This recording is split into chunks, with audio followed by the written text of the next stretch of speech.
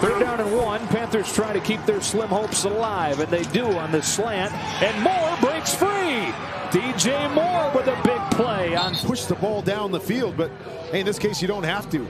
Quick slant on the outside. Nice read by Teddy Bridgewater and put it right in front of him, and then through the contact. Got to wrap him up.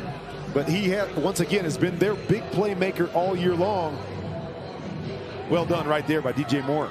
It's 40 and moves over 100 yards. 131 tonight.